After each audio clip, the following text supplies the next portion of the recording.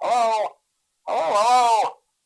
Uh, I wanted to record a message for you to help you get settled in on your first night. Um, I actually worked in that office before you. I'm finishing up my last week now, as a matter of fact. Oh, well, I'm not a bear, and I like coffee, so you get to save those for another day.